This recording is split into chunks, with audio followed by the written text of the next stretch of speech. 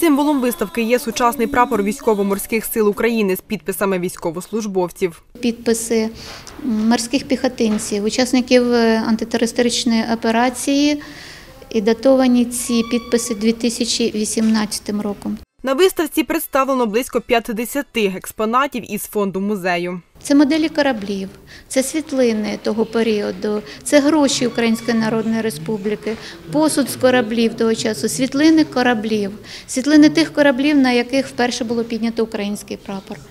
Української Народної Республіки. Це розповідь про людей, які сприяли українізації флоту. Оригінали документів взяті із Державного архіву Миколаївської області. Їх близько 120 примірників. про період, е, який починається з лютневої революції в Петрограді, і далі е, до приблизно березня, а можливо навіть і більше ніж березня 1919 року, коли ми можемо говорити про зусилля українського уряду. Зміні його Центральна Рада, Гетьман Скоропадський, директорія по е, е, створенню українського національного флоту або українського державного флоту, да, як е, писали в документах Український державний флот, про тих діячів, які стояли на е, чолі флоту, тому що дуже багато з них мали своє вели своє.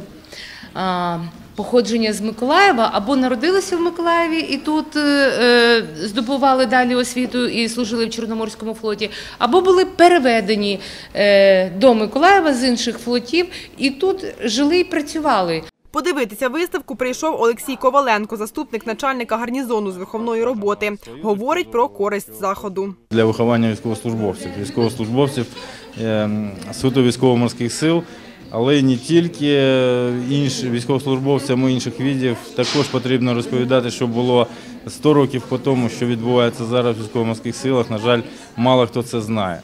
Тетяна Яловенко, старший матрос військового оркестру військової частини А-3130 військово-морської бази «Схід». Прийшла на виставку разом з колегами. Дуже багато людей абсолютно не знають, що відбувається, е, і не знають про визначних людей. І взагалі, коли був розвиток, і що тут взагалі про що йшла мова. Е, Це дуже корисно насамперед для нас, так як і ми молоді, не все ще розуміємо, е, не все ще знаємо, і це відкладається в наш досвід. Тому, як на мене, це дуже хороший урок.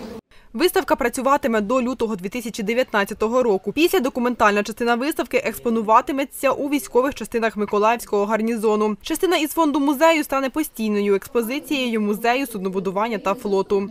Вікторія Андрушків, Юрій Руденко, телевізійні новини Миколаївщини.